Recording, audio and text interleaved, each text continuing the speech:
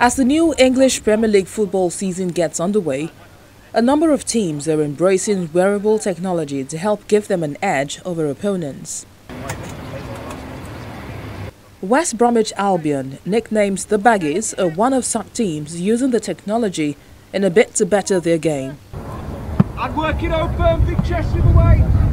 They recorded their joint second best finish in the Premier League era when they came 10th last season.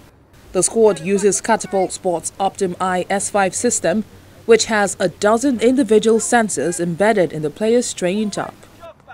This typically collects up to 1,000 data points per second in real time to monitor player performance and fitness. And this time, crossover, Scott, to get your feet moving. The players wear one of these uh, vests for all training activities, um, and then embedded within the bottom of there, there'll be a heart rate strap, which gives us a continual heart rate for each player and then in the back there there's a little pocket which the unit sits in.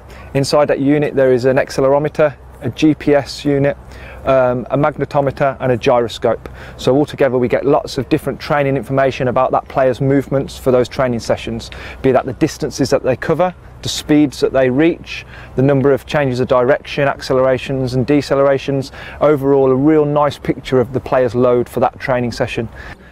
The system tracks players' movements with pinpoint accuracy using local positioning system, which unlike global which unlike global satellite positioning GPS uses pre-installed stadium infrastructure.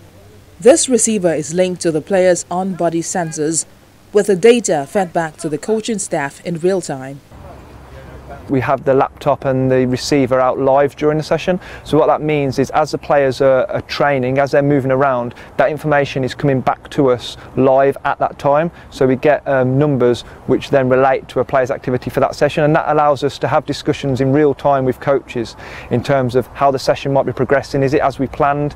Um, if, if not, do we need to maybe stay out for a little bit longer and add more training load to the players, or do we need to maybe um, tailor the session uh, and look to cut it shorter than planned on paper? So it really brings that session plan that we had um, prospectively ahead of the session to life, really, and allows us to make real-time decisions. With a margin for error between teams in English football's top flight often very slim, Performance analytics are bringing a new dimension to tactics and are being embraced even by the most traditional football managers No rest there.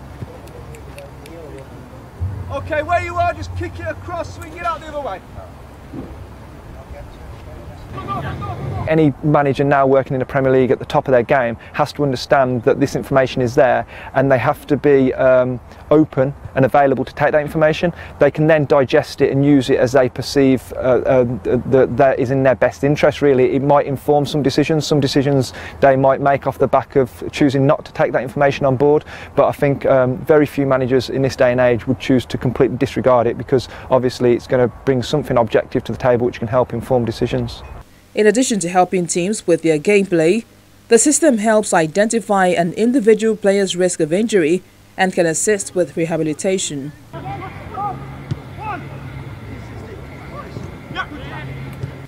While the system is currently only used during training, Green sees the future versions of the device unobtrusive enough to be embedded in a matchday uniform, giving coaching staff in-game analysis of player performance it, it's a complete norm for players to wear this in training. I think as the unit evolves, um, you'll see it become the complete norm for them to wear it in matches as well, which at the minute is um, some clubs would do that, but it's not uh, Premier League wide. Um, and I think then that evolution will probably mean that the data is um, is then available to coaches and to support staff during fixtures to, to then inform some match day decisions really um, on player readiness and, and how fatigue might be occurring during the game. The Elite Catapult system is used by other Premier League football teams including Chelsea, West Ham and Tottenham Hotspur. However, they recently launched a consumer version called PlayerTek for amateur competitive footballers to track and compare their performance with friends and teammates.